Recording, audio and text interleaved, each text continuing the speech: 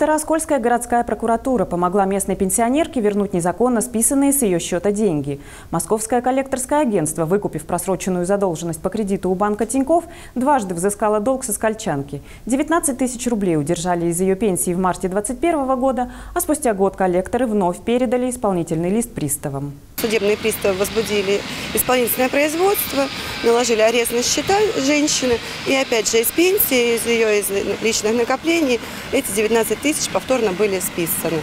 Она обратилась в Староскольскую прокуратуру, и в результате этого мы направили исковое заявление в Мировой суд города Москвы о взыскании необосновательного обогащения с этого коллекторского агентства. Суд удовлетворил требования прокурора, обязал коллекторское агентство выплатить данную сумму, вернуть 19 тысяч рублей.